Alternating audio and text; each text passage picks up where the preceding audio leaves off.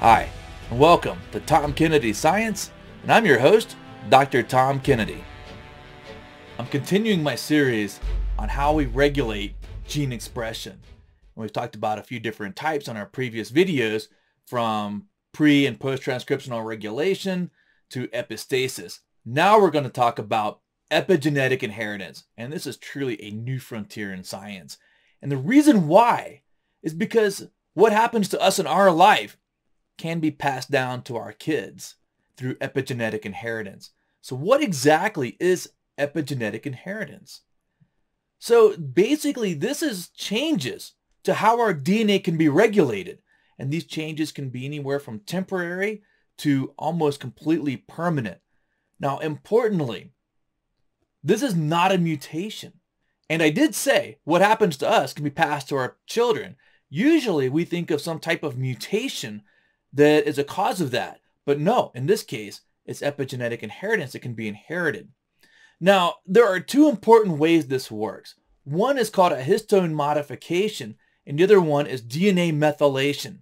No, wait, I've never talked about histones before. What in the world is a histone?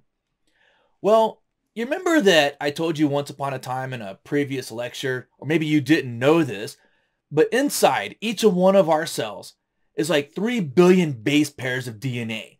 That's like 6 feet of DNA coiled up inside of our cell nucleus. Well, there's lots of ways that we fold our DNA. And one way we fold them is through these little proteins called histones. Uh, like imagine a ball that you wrap your DNA around. So those histones help organize our DNA inside of our cell nucleus. Okay, you can imagine a scenario. You've got a liver cell and you've got a skin cell. Sometimes you need genes, sometimes you don't. So you can actually pack away genes that you're not going to be using. It's like uh, packing away your Christmas ornaments, right? You don't need them throughout most of the year. So you pack them away, you put them in boxes and put them away. We can do the same for DNA, or at least our cells do. And there's some ways that we can modify the histones to actually attract the DNA more closely in that case, you get less gene expression, or we can modify them that the DNA is packed less tightly and you would get more gene expression. And the reason why that works is it goes all the way back to our transcription factors. These are proteins that initiate transcription. Okay, so if you're packing away your DNA very tightly, your transcription factors can't get in there. In fact, all your apparatus for doing transcription can't get in there and you can't have transcription. So there you go. It stops gene expression. Now the one that I'm going to focus on more today is called DNA methylation. Okay, methyl groups. I, you may not know what a methyl group is, but imagine a carbon with three hydrogens attached to it. And what happens is, whenever you need to start methylating DNA, what you're doing is you're adding these methyl groups to your DNA. And specifically, you're only adding the methyl groups to the cytosines, right? To one of the four nucleotides. And what that does is it changes the shape of your DNA. And in the molecular biology, or in all of biology, shape really matters. So if you change the shape of your DNA, guess what? Transcription doesn't work. So DNA methylation, this is a, a way that can stop transcription and it can do it almost permanently. And this is very important for things like cell differentiation. Now think about this. You have like 200 different cell types in your body. You've got muscle cells, skin cells, liver cells, neurons, different types of neurons. Each one of these cells is expressing different genes. And in fact, a muscle cell may never express genes like alcohol dehydrogenase that are in your liver to break down alcohol. So since it's there, what will happen is inside your muscle cells, it will permanently turn them off by methylating them. So as part of our growth and development, as our cells differentiate, different regions of our chromosomes with specific genes on them will become methylated, permanently turning them off. Now, this is inheritance, right? So what that means is these patterns of DNA methylation are passed down from parent to daughter cells. So if I have a muscle cell and I permanently turned off the genes for alcohol dehydrogenase, when those muscle cells are dividing, guess what? They pass on that same level of inheritance. They pass on the same epigenetics so that those genes are turned off in the daughter cells as well. You can see this. You ever seen a calico cat? No two calico cats ever look the same. Have you also noticed that they're females? Well, why is that? Well, it turns out that female mammals were determined by XX chromosomes. Female cats only need one functioning X chromosome. So they turn the other one off and they do so randomly. Now, the importance here is that the genes for fur color are on the X chromosome and we're randomly turning them off. So, hmm, and the, and the random X chromosome inactivation is done by methylating it all over the place and it permanently turns it off. So every time you have a cell with a specific X chromosome turned off, the daughter cells will get the same X chromosome turned off. So if you have an X from your mom and an X from your dad, and if you turn the X chromosome off from your dad, then in all the daughter cells, that same dad's X chromosome will also remain turned off. So you can imagine a calico cat. You've got an X chromosome from dad with a allele for black fur. You've got an X chromosome from mom with an allele from white fur. So what happens is we got this embryo. We start randomly inactivating these X chromosomes by methylating them. So we're adding these CH3 groups all to it, right? Basically stops transcription. And then what happens is we, as those cells continue to grow and divide through mitosis, those same chromosomes are always inactivated. So you can see the pattern on a calico cat. In this case, all the black fur is from the dad's X chromosomes and all the orange fur is from the mom's X chromosomes. And you can actually see the pattern of X chromosome inactivation on these cats. How cool is that? It doesn't stop there, the importance of DNA methylation.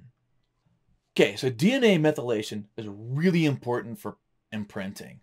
And here's what happens. You know, I'm producing gametes, and if you're a female, you're also producing gametes. We're all producing gametes. My gametes, my sperm are imprinted as male. If you have eggs, they're imprinted as female. And this is really important. One of them is you can't combine two eggs to form an individual. You can't combine two sperm to form an individual. You have to have the male and the female because we haven't learned how to strip the imprinting off and reimprint a male as a female and vice versa. And let me show you why you just can't like combine the genes of two eggs or two sperm to form an offspring. Okay, so you got an embryo, right? And this embryo is growing. And one of the ways that the embryo attaches to the mom is, and the placenta acts as a gateway between the mom and the growing embryo that has all the exchange of nutrients. Now, here's what's interesting. Both the mom and the dad contributed genes to grow a placenta. However, the mom's genes are turned off and it's only the dad's genes that are used to grow the placenta. So they're, when they say that babies are like little parasites growing in the mom, there's some truth to that. The baby is trying to pull as much nutrients as possible from the mom and the mom has to regulate it so it doesn't harm her or cause problems. So that's very interesting that the placenta is driven by the male's genes. Even though the moms are there, they're just turned off. And there are all kinds of other examples of how maternal and paternal genes are switched on and off based on imprinting during our growth and development. And that's why you can't combine two eggs or two sperm to form an, a, uh, an individual. You have to have a male and a female, at least until we learn how to strip the imprinting and re-imprint them. Now, importantly, um, what we're learning with epigenetics is that what happens to the parents in their lifetime can be transmitted to their children, and especially in how the way that genes are regulated. Now remember, epigenetics, this is not mutations. Okay, we're not changing the actual sequence of the genes. We're changing how those genes are regulated. And here's our one of our first clues. World War II, there was a Dutch hunger winter. Basically, the Nazis put barricades up around the Netherlands because they sided with the Allies and they went to like 30% of their normal calories during this winter. It was really, really bad. There was a lot of people that died of malnutrition and hunger. However, not everybody died. And there were people that had babies during and after the Dutch hunger winter. So we followed the effects of the famine for a couple generations. So here's what we learned. If a mom conceived before the famine and gave birth during the famine, the babies were born underweight. That makes sense. Most of the weight is gained in the last trimester. So if the mom is malnourished, it makes sense that the babies are also small. However, those children remained underweight for the rest of their lives. So there is something going on with the imprinting of their metabolism. Not only that, and the same happened to their children. So that imprinting lasted for at least two generations. Second, women conceived during the famine that didn't get enough calories. But if they gave birth about three months afterwards, the babies were normal weight. And well, that made sense because you gain most of your weight in your last trimester. So if you have normal calories in your last trimester, the baby's caught up. However, the children that were conceived during the famine and born afterwards, most of them had higher rates of obesity for the rest of their lives. And guess what? Their children also had higher rates of obesity. So this lasted for two generations. Okay, so in Dutch, there are you know people that were dealing with obesity and people that were small in stature based on when they were born during this Dutch hunger winter, and this affected their children too. So it turns out that there is imprinting based on parents and what's happening with their nutrition. We also know that often obese parents have an increased likelihood of obese children. For years, it was thought it was just environment. Hey, the parents are eating poorly, over consuming, not exercising, the children would do the same. So it was an environment. It turns out that is not the case, that obese parents can actually have defective imprinting on the genes and that defective imprinting is passed to the children, giving them a more likelihood of being obese later in life. And of course, I'm showing the a clip from the movie WALL-E, where basically humans trashed the earth, got up on these giant spaceships and left, and waited to return when the earth healed itself. But on these spaceships, they didn't have to do anything. They just kind of rode around in carts and ate all day. And everybody was large and lazy. And yeah, yeah. WALL-E, great movie. Loved it. So this is an example of how moms can affect their children. We have good examples of that. We're starting to understand how this works. Uh, can what happened to dads be passed on to their children as well? The answer is we think so. There's still some research that needs to be done on this. We don't know.